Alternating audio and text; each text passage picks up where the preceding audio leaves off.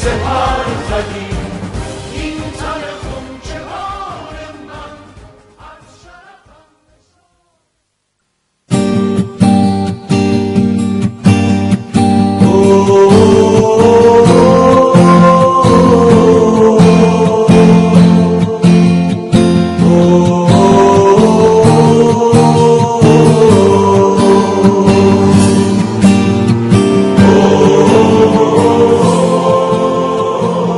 سلام. من از ایران تماس می‌گیرم. از تهران. من مادر دو شریک هستم و بچه های دیگرم تو اشرف لیبرتی هستن. امروز از صبح که بلند شدم وقتی شنیدم که به اشرف حمله کردن می‌دونی که چه حالی دارم. می‌خواستم به سازمان ملل مماشاتگر و آخوندهای کثیف و مالکی جنایتکار بگم که هرگز نمی‌تونیم اراده های بچه های ما رو با این کارا کنیم. چون بچه های ما تعهد بدن تا آزادی مردم بجنگن با شما.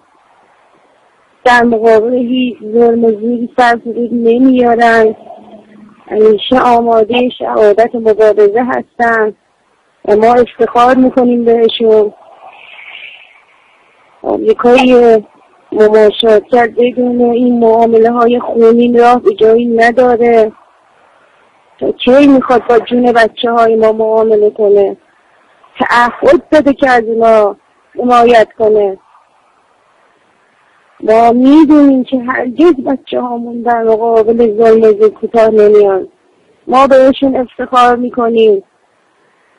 سلام به پیکرهای خونینتون. سلام به تنهای مجموعتون سلام به اراده های اراده ها و ایمان قویتون. ما براتون از اینجا دعا می‌کنیم. ما همراه شما هستیم. ما هرگز پشت شما رو خالی نمی‌ذاریم. اینو بدونیم. شما باعث افتخار ما هستیم. شما باعث افتخار ما هستیم. شما باعث افتخار ما هستیم. شما این که پرچم هیهاد من نزل را همیشه برافراشته نگه میداریم و ما پیرو به راه شماییم از خدا می‌خوایم که شما رو برای ما حفظ کنه. چون آزادی ما تنها به دست شماست. منتظر شما هستیم. منتظر شما هستیم. خدا نگهدار همتون. لعنت بر همه مماشاتگرا. لعنت بر آخوندا. لعنت بر همه کسایی که بر سر جون بچه های ما معامله می‌کنن. خدا نگهدار.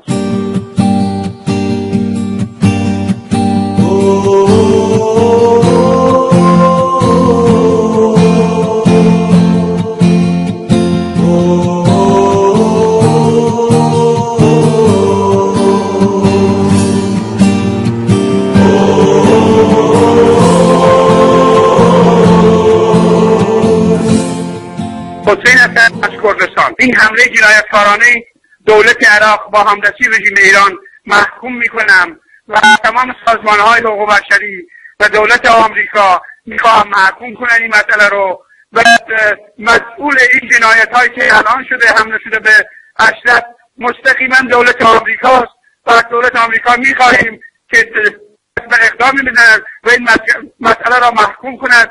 چون حفاظت خلالگاه و بچه اشرف کاملا به عهده دولت آمریکا بوده. رژیم می‌خواهد با این عمل جنایتکارانش سباری صندوق خودش را به عقب بیاندازد. و ما محکوم می‌کنیم این مسئله را. و دولت آمریکا می‌خواهیم که این مسئله را محکوم کند و مسئولیت کامل این جنایتی که دولت عراق انجام داده به عهده دولت آمریکا می‌باشد.